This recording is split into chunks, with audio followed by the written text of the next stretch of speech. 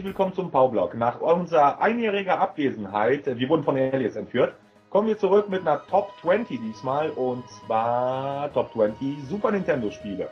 Yay! Genau. Mehr Begeisterung, mehr Begeisterung. Super Nintendo ist doch cool gewesen. Ja, ja, natürlich. Super Nintendo war die beste 2D-Konsole. Und ja, das ist ein FX-Chip ist eigentlich kackegal. Ever. Ja, das ist die beste Konsole bis jetzt. Also das ist, wie, wie so viele Leute sagen, das Super Nintendo war der Höhepunkt des goldenen Zeitalters der Spiele, ne?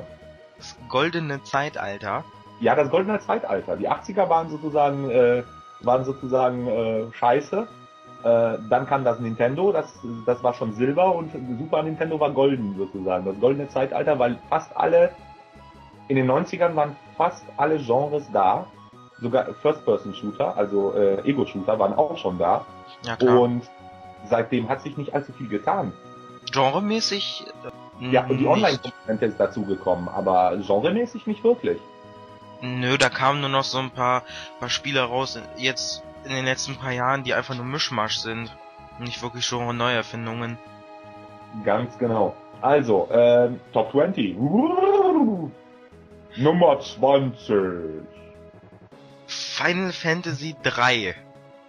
Da wird sich jetzt der, der ein oder andere fragen, warum nur 20? Ja, Final Fantasy 3. Wegen mir. also Final Fantasy 3, in Japan war das Final Fantasy 6. 6. Ja, doch, ich bin mir ziemlich sicher, dass es 6 war. Ja, das ist Final Fantasy 6, hast schon recht. Ja, ähm, ja, es ist, ähm, ja, jetzt mal abgesehen davon, dass es auf der 20 ist, ist das Spiel an sich storymäßig sehr geil gewesen und deswegen hat's überhaupt, hat's überhaupt erst äh, so weit geschafft in der Super Nintendo Community. Mit, äh, mit, mit einem ultra krassen Twist in der Mitte und so einem Zeug. Also wer es nicht gespielt hat, irgendwie für einen Gameboy oder so, für zwischendurch mal in der U-Bahn zocken, auf jeden Fall empfehlenswert. Äh, wenn du sagst, ich bevorzuge immer noch Earthbound, aber Final Fantasy 3. Yeah. Yay, ganz genau. Okay, ähm, dann. Ich kann zu Final Fantasy 3 nicht allzu viel sagen, weil ich nicht so ein Japan-RPG-Fan bin. Ich liebe Earthbound, aber alle anderen Japan-RPGs äh, müssen nicht sein. So, dann Nummer 19. Das Super Mario RPG. Also da kann ich jetzt nicht so viel zu sagen. Das Spiel habe ich angespielt, aber nicht durchgespielt. Ehrlich gesagt. Super Mario RPG ist geil, weil es eigentlich das Beste aus äh, Japan-RPGs und Mario-Welt äh, zusammenführt und es spielt sich so ähnlich wie Bowser's Inside Story für den DS. Also, äh, keine Ahnung, wie das auf Deutsch heißt, das Ding. Ja, ja, Bowser's Inside Story wird schon jeder wissen, Ja, eben. was und gemeint das, ist. das fand ich schon ziemlich geil und äh, ja, es ist ein Mario-RPG, das musste auf die Liste. Wurde auch von Square oder Enix entwickelt, ne? Ich glaube von Enix, ja, ja. Ja, kam auch sehr spät raus, das Spiel. Ja, da, da war schon das Super Nintendo tot, soweit ich weiß, als das Spiel rauskam. 96 war das, glaube ich. Ja, und da war schon die Playsee äh, auf dem Vormarsch.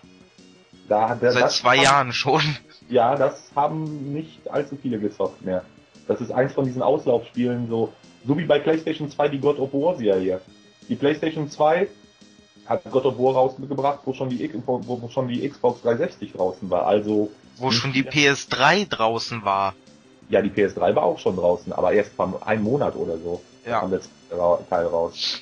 Ja, ja, genau ungefähr so. Ja, so, äh, egal. Platz Nummer 18.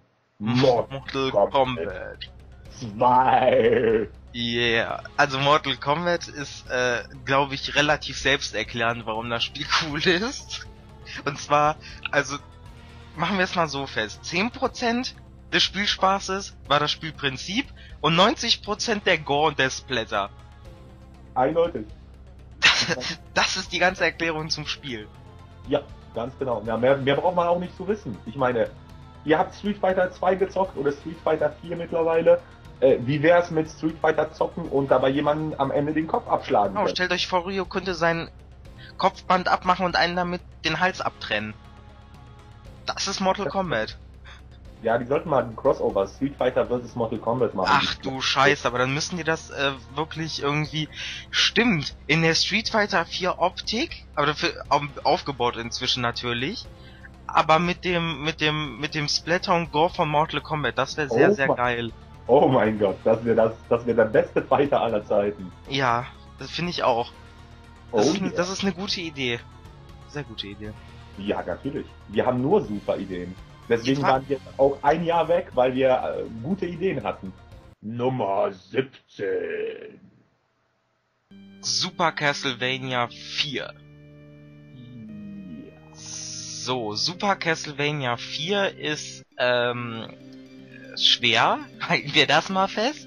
Das ist sehr schwer. Das ist eigentlich wie Castlevania 1, was Castlevania 1 hätte sein müssen. Ich glaube sogar, das ist sogar Castlevania 1. Nur eben in besserer Grafik und äh, besseren. Äh, Das ist eine Art Remake Steuerung. fast schon. Bitte? Eine Art Remake fast schon. Ja, ja, eigentlich ja. Aber es war schon ein eigenes Spiel, allein schon wegen der, wegen der Level und der Grafik und dem FX-Chip, der zum Einsatz kam und einem das Kotzen brachte in dem Level gegen Ende. Keine Ahnung, welches das war. Und Kronleuchter. Ja, und die Kronleuchter, ja, ja, nicht nur Kerzen, Kronleuchter waren auch. Das war sehr wichtig. Dafür musste man FX-Chips einbauen. Oh, und es gab das Level, wo, wo, wo sich das ganze, äh, wo, wo sich das ganze Level gedreht hat, ne? Wo du, äh, wo du an der Kette hingst, dann hat sich das Level gedreht, dann konntest du weiter und musstest dich wieder dranhängen, weil das Level sich wieder gedreht hat. Richtig, Das fand, richtig. ich, das fand ich richtig geil. Das war eine Also das beste Idee. Castlevania aller Zeiten, meiner Meinung nach. Nein, das unterschreibe ich so nicht. Nein, nein, nein, ich meine das beste Castlevania, was Castlevania ist. Nicht Metroidvania, ja? Nicht diese Backtracking-Scheiße, die, äh, nee, nicht Scheiße, die sind auch geil, aber Ja, äh, das ist nicht mehr Castlevania, das ist schon was anderes. das, ist schon Metroid. Das ist schon. Metroid mit Castlevania drin, ganz genau. Ja, okay, okay. Ja, wenn du es so siehst, dann ist Super Castlevania 4 eindeutig das beste Castlevania. Ja, Sidescrollen, Peitsche, von links nach rechts gehen, äh, Monster plätten. Nie wieder zurückgehen, nie wieder aufleveln oder so Mist. Ja.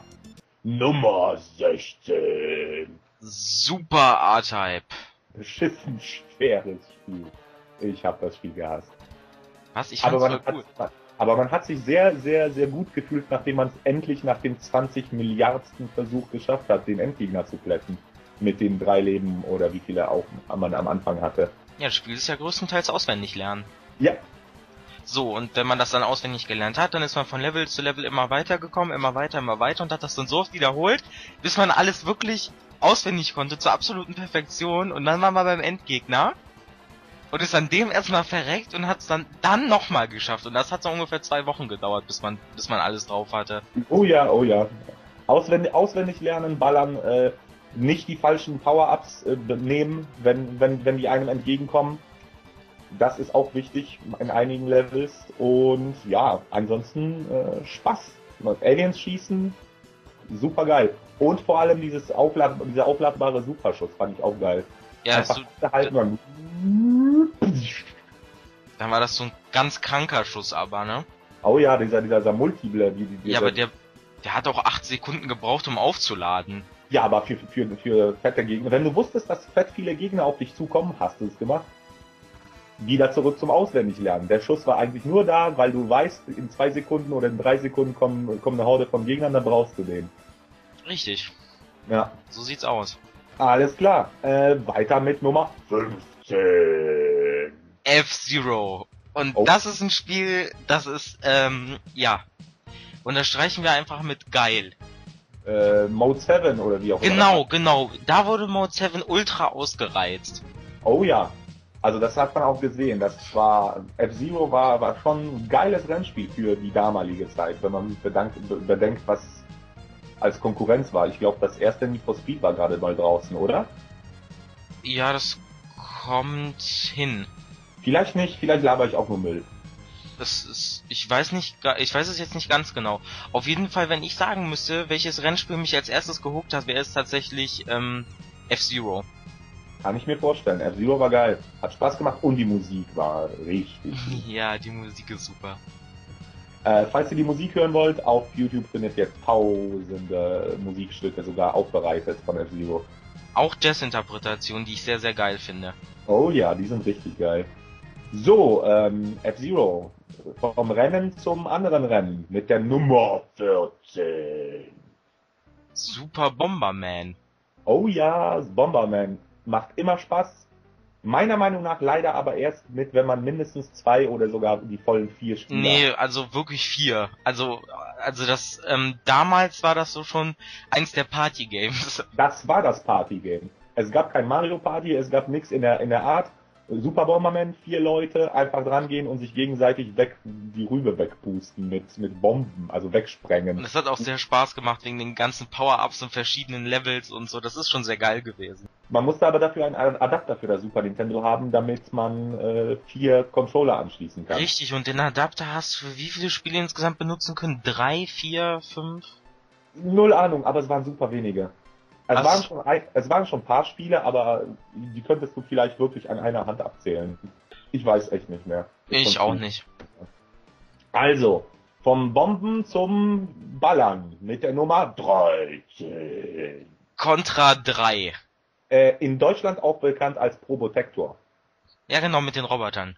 Genau, die deutsche, die deutsche Fassung hatte die Roboter, weil äh, ja die deutsche, die deutsche Seele ist zu fragil, sie muss geschützt werden vor brutalen Aliens, die super verpixelt sind.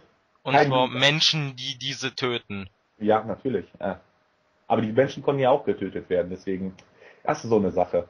Auf jeden Fall Contra 3, saugeil, vor allem im Koop.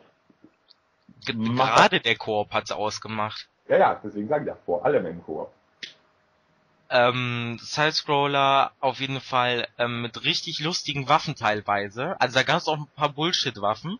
Mit richtig lustigen Waffen und vor allem im Koop hat man sich dann immer so gestritten um die Waffen, ich weiß das noch. Mit ein paar Freunden, ey, was nimmst du mir die Waffe weg? Die wollte ich gerade haben. Aber du hast doch die schon. Und all so ein Schwachsinn. Das ist richtig geil gewesen. Ja, eins der ersten besseren Run-and-Gun-Spiele, die es gab. Vor allen Dingen zum Zugucken göttlich, weil das Spiel ist auch nicht sehr, sehr leicht. Das stimmt. Äh, das Fluchen, das, das hat man sich spätestens mit Probotector bzw. Contra 3 angewöhnt. ja, haben auch, äh, haben auch sehr viele gespielt. Das war auf jeden Fall sehr, sehr geil. Und die Bosse, alter Falter. Die Bosse waren geil. Also, ja. Es ist eigentlich wie, wie äh, R-Type, unsere Nummer 16. Die Bosse sind einfach nur abgespaced. Groß, riesig und du hast Spaß. Richtig. So, ähm, vom, vom Geballer äh, gegen Aliens zum Weltraum. Mit der Nummer 12. Und zwar Star Fox. Oh ja, Star Fox. Der ah.